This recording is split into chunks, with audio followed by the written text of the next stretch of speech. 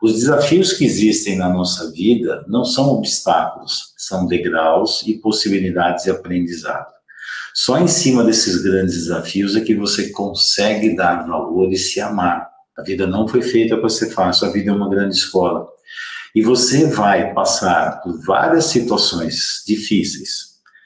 Ah, depressão, pensamentos suicidas, doenças graves e assim por diante. Por quê? Porque aqui é o momento de você olhar para si mesmo, olhar para dentro de si. E o momento de reflexão e começar a se conectar com a sua verdadeira essência.